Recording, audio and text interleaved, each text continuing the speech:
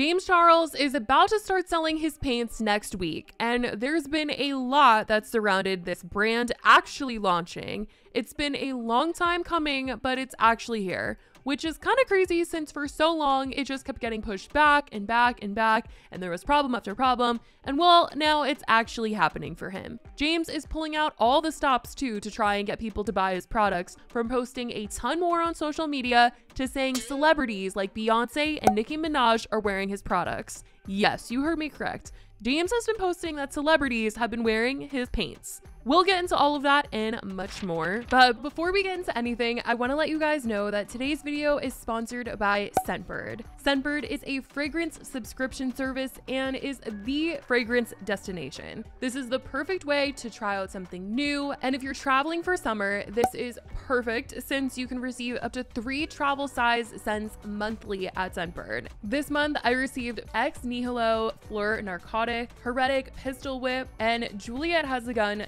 not a perfume. And this one ended up being my top scent of the freaking summer. Like I've been wearing this all month. It's giving clean girl. It's giving summer. I'm just obsessed. I'm super bad at describing scents, but guys, it smells good. and it's always exciting to switch things up and try something new. And Scentbird lets you do just that by choosing a new designer or niche fragrance to try every month for just $17. Every month you can pick whatever you want to receive, so there's no surprises. The choice is up to you. Some Sometimes I like to get my favorites, other times I want to explore something new, so it's nice to be able to switch things up. They have all the name brands like Prada, Dolce, Gucci, but what's also great is that Scentbird carries a lot of amazing niche scents as well, so you're sure to find your favorite. And with my code SPILLSESH55, you can get 55% off your first month at Scentbird. You can also just scan the QR code on the screen. So head on over there to get your scent of the summer, start smelling good, smelling nice, try something new. Once again, use SPILLSESH55 or scan my QR code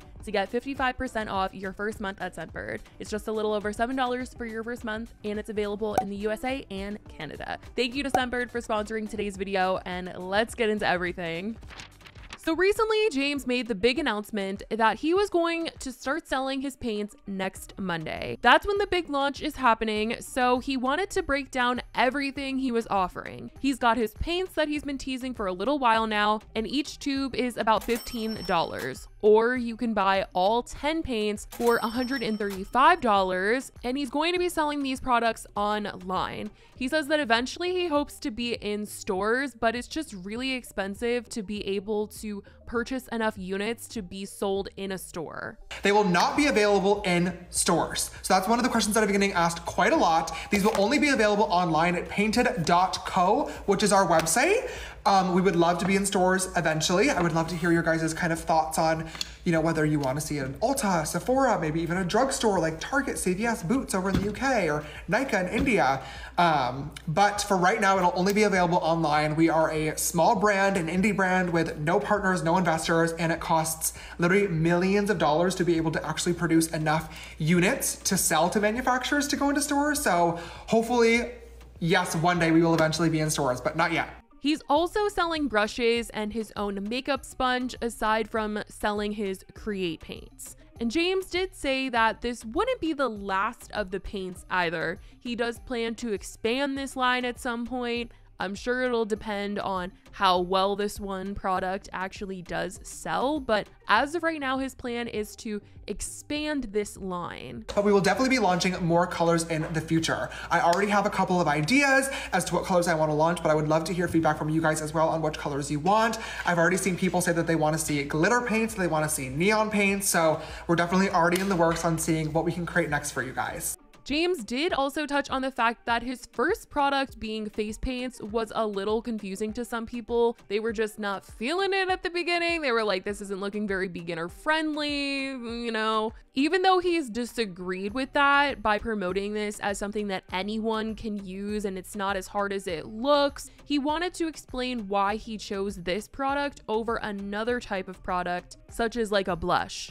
I think a lot of people have been saying like, One of the things that I've gotten a lot of comments about is like, oh my God, like, why are you launching paints first, right? I mean, the brand is called Painted. It's all about bringing artistry and pro formulas to makeup consumers, whether you're a pro makeup artist or a beginner.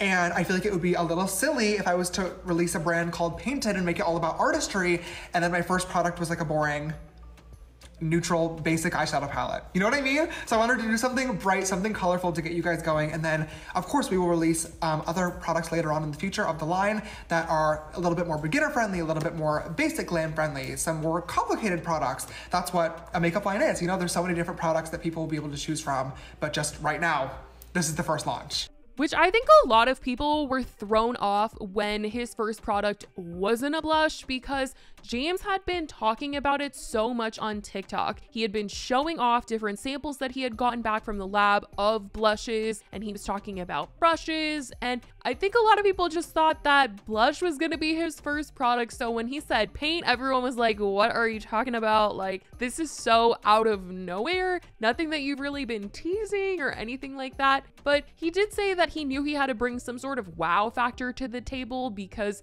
people don't really like him and he needed to come out with a product that people were like, oh my god, like I need that or something. Not that I think that paints or something that anyone is really like, oh my god, I don't like James Charles, but I need that. I think he just wanted to do something a little bit more stand out or a little bit different than a blush because if James Charles is coming out with a blush, it's like, okay, there's like a million blushes out there. It's kind of boring, you know, not to be, but a little like a blush is nothing special. Like there's a bunch of them that you can have at the store, but a paint, there is paint products on the market, but it stands out more than a blush. I don't know if people are exactly reaching for it as much as they are for a blush, but James is certainly hoping so. And he was kind of explaining that there are people that were wondering what was happening to the blushes because he had built all this hype for it.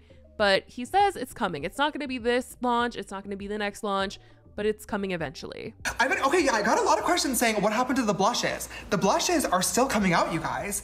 I, they'll just, not, they're not first. They're not the first launch, but they're coming. They are definitely coming. That's all I'm gonna say.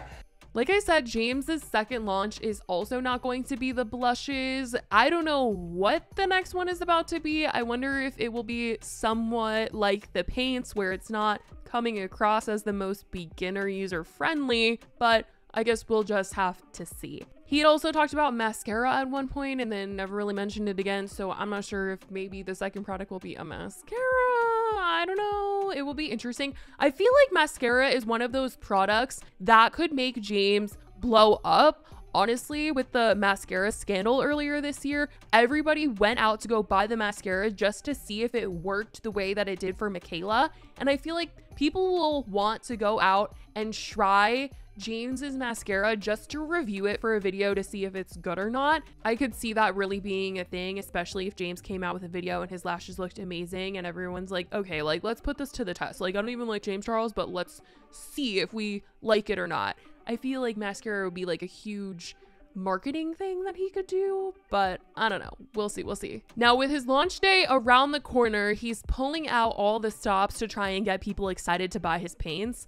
And when I mean pulling out all the stops, I really mean it, you guys, because he's been posting celebrities wearing his products. And I'm not even sure if they're aware of the fact that they're wearing James Charles products on their face, but they're a part of his promotion now. James said in his big video announcing when everything was going to be sold that Beyonce has worn his paints. Blackest black, so smooth, so sleek, and of course dries down fully matte. Look at that, you guys. It is the eyeliner of your dreams. The sharpest, pointiest wings, of course, using our painted brushes, which I'll tell you about soon. You can put it in your waterline, you can blend it out for a smoky eye, any sultry makeup look, this is going to be your best friend. Don't just take it from me though, okay? You guys are going to die die when I tell you this. Beyonce's makeup artist use this on her on tour. Raquel, I love you so much. I cannot even, Beyonce has worn my pants. You guys, the mother Queen Bee has worn ink and also Pinky Promise on her tour. If Beyonce can wear these paints and dance around on stage being a legend for hours and hours and hours straight and they still stay on and look amazing, you can do it too. And he's continued talking about it in several posts now. This one on the painted.co Instagram said Beyonce, Queen Bee tearing up the stage wearing our new Create paints in shades Pinky Promise and Ink on her Renaissance tour.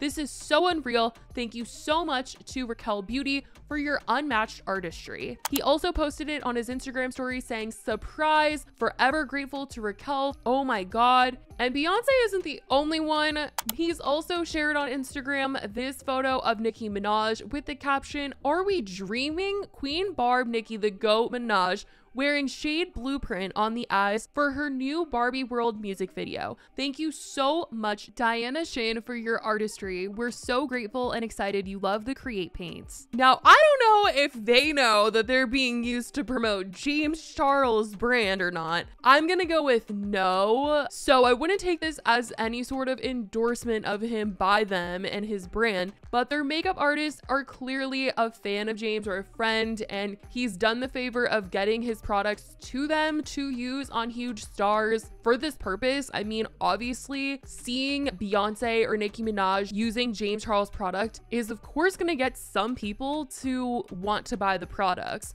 It's really big for James, but some have commented wondering, you know, is it right since it feels like he's saying that they're endorsing his brand when they might not even know what's on their own face. But that's how James is trying to get anyone and everyone to give his brand a shot. He started posting way more about these paints and how to use them to try and sell these to people. And I really wonder how people are going to be on launch day if they're going to be selling these products out Maybe he'll only release a small amount so that it does look like it sells out to drive more hype, and then he'll do like a little restock or something. I guess we'll have to see if him waiting all these years to have his own brand was worth it, but it's clearly been like some sort of a messy ride for him as there's been a lot of ups and downs and it's taken really long time for this to come out. But I want to know what you guys think about all of this in the comments. I love you guys so much and I will talk to you in the next video. Bye guys.